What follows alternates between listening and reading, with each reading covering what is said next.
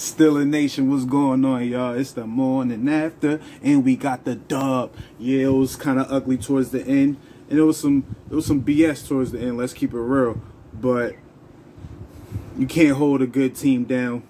You can't hold a tough team down, and you can't stop T.J. Watt. You're yo man. The Pittsburgh Steelers win this game in overtime, twenty three to twenty. Shout out to the Seattle Seahawks, man. It was a tough game. They made it tough in the second half. Um, prayers out for that guy. Uh, I don't want to get his name wrong, so I'm not gonna say it. But the guy that went down yesterday, they had, they had to take him to the hospital and all that. You know, prayers out to him. Hopefully, he's able to recover from that.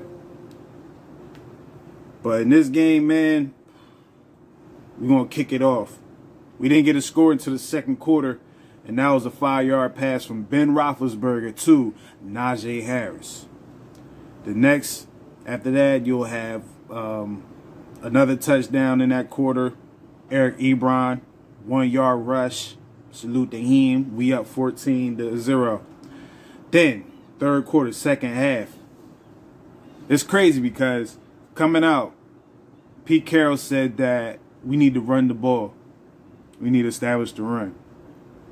Mike Tomlin came out in the third half and said they're going to try to get the ball to their big guys, which is Lockett. Not, he's not a big guy, but they're big name guys like Lockett and DK Metcalf.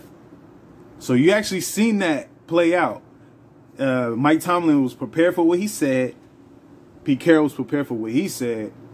And the Seahawks completely took the third quarter. Completely took the third quarter. Um, Alex Collins started getting hot. Pittsburgh Steelers fans, we know him. He played for the Ravens.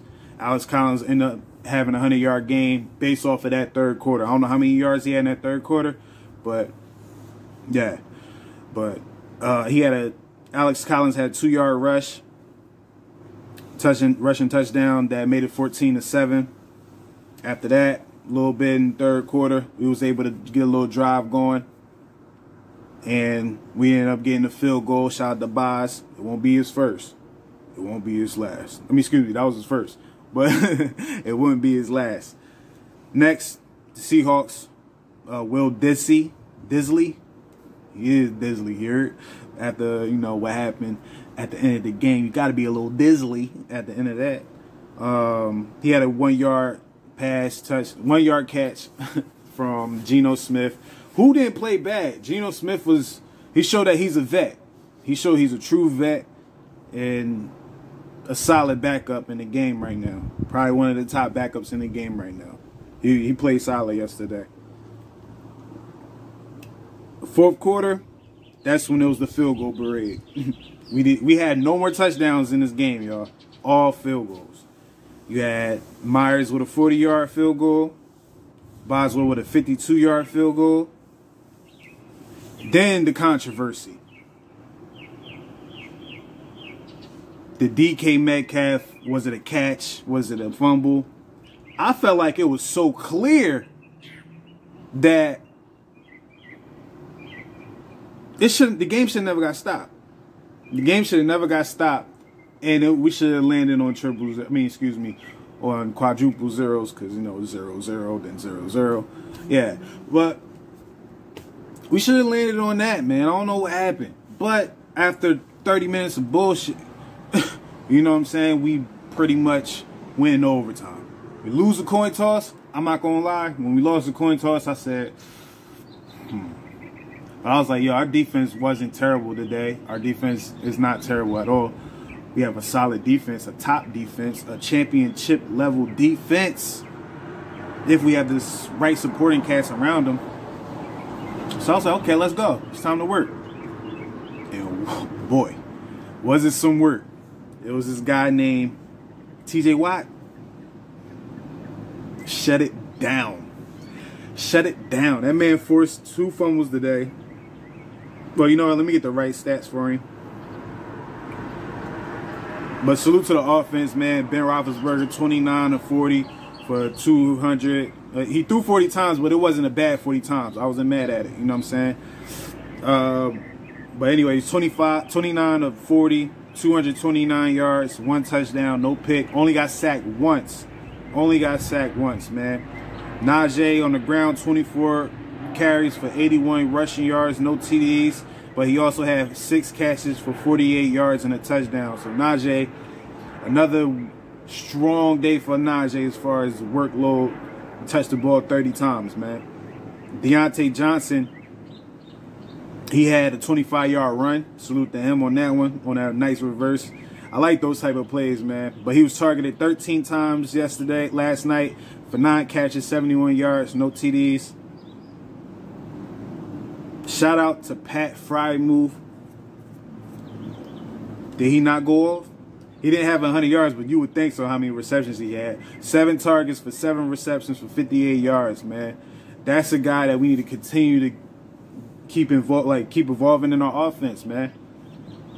Him and even shout out to Eric Ebron, man. He made a couple good catches.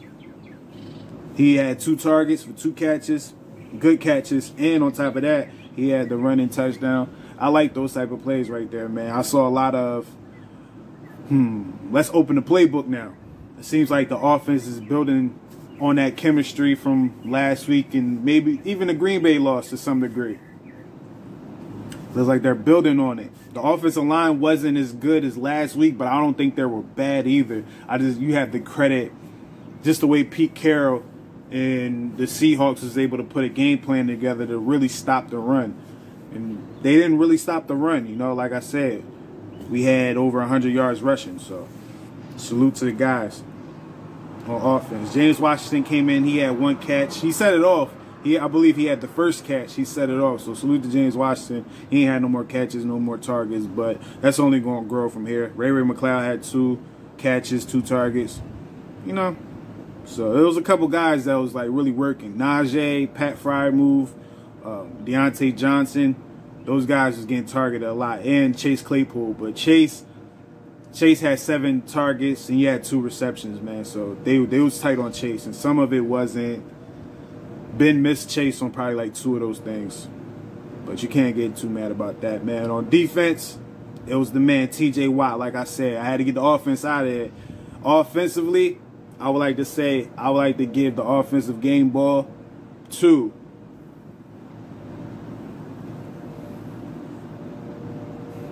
I'm gonna have to give it to Najee again, man. Granted, like I said, he didn't do too good on the ground, but well, 24 for 81 ain't too bad. You know, that's about a little under four yards, maybe a carry. Um, who knows, man? Hold on. Matter of fact, let me see if I can just pull that up right now, so I ain't just guessing. You don't want me to guess I Steeler Nation, no? Well, I ain't, I ain't getting there. but anyway, man, I think Najee on the ground and blocking and receiving, he was just a total package, man. You have to salute. A, close second would be probably Big Ben but he did fumble on trying to be Big Ben. I'm not too mad about that fumble because more often than not, I want to say 9.5 times out of 10, Big Ben, he ain't dropping that thing. You know, he's going to be able to pump fake that and keep it going. But sacks, sacks, sacks, loose to the guy. TJ Watt, like I said, he had two sacks, causing um, a forced fumble to pretty much end the game in overtime. You know, we end up getting Boswell to kick the field goal, and that was it. And Alex Highsmith, strong day, 1.5 tackles. Uh, I mean, excuse me, sacks. Chris Wormley had a 0.5, so him and Alex Highsmith shared one. Cam Heyward one. Pass deflections. TJ had three of them things. Chris Wormley had one of them things. Tre Norwood, let's talk about him. And then I'm going to go ahead and wrap this thing up. Tre Norwood, still of the draft, seventh round draft pick, making plays every week. Every week, man. Seventh round draft pick, man. I don't know how what it is about DBs, wide receivers. I don't know, man. We could just find them type of guys. Tre Norwood, when we drafted him, I was I, when I was analyzing, you know, the tape and everything about him and noticing how bad his defense was, and like the defense he played on, it wasn't too good. So I can kind of see how he fell in the draft. But if you look at his highlights and the, his pro plays, I didn't watch the con plays, but his pro plays was like, whoa, okay, all right, he might be able to fit. And the fact that he was versatile too. You know Mike Tomlin loved them versatile um, DBs. And the fact that we have him playing in a position where it's like, dude, just make a play. That's all you out there to do, make a play. And he'll make a play. And salute to Arthur Maulet because they kind of share that role. And boy, Tre Norwood to be a seven round draft pick.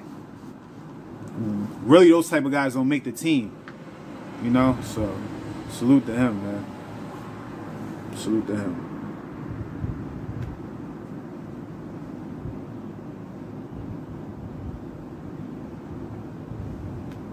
And with that being said, I think it's obvious who the game ball goes to on the defense. It's TJ Watt. It's TJ Watt. And it's TJ Watt. I don't have to say it again. It's TJ Watt. And it's your man Kevies. We going into the bye week, three and three, five hundred. We're righting the ship, y'all. Zach Banner might be back on our next game going against the Browns. Might have Carlos Davis coming back. No, we might have Anthony um, McFarland. We may have news on Stephon too. We don't know. The bye week works miracles, man, and I believe that we're gonna take advantage of it. The young guys need it. The older guys need it. Excuse me. The young guys, they need it in the sense of looking how the season went so far. How can they improve going forward? The older guys, they just need it because they're older guys, man. Let them rest. And I feel like week seven, granted, um, we we have 17 weeks. No, excuse me, 18 weeks. Week seven isn't a bad bye week. It's not a bad time to have a bye week because you have a good enough sample size to analyze what's been going on, what you need to fix, and the fact that we kind of was able to fix certain things before the bye week was like this bye week is it's essential, but it's not like oh my gosh, we really needed this. It's like we can really use this, man. I feel like we're gonna be able to take advantage of it. So salute the Steeler Nation, man. We got another one. Bye week is no football, but don't worry, because on Wednesday, the Steelers for Seven podcast, episode 74, will drop, man. It don't matter if it's a bye week, high week, low week, left week, white, right week. It we gonna get it. We gonna get it, man. We gonna keep this thing going, man. But it's your man Cav Easy. Make sure you like, follow, and subscribe. And if you want to get into it, everything else, the link is in the description box. It's the Venture Season Network, y'all. Get in tune. Holla. Steeler Nation. Yes, it is over, man. It is over. The losing streak is over. It's your man Cav Easy. It's the morning after.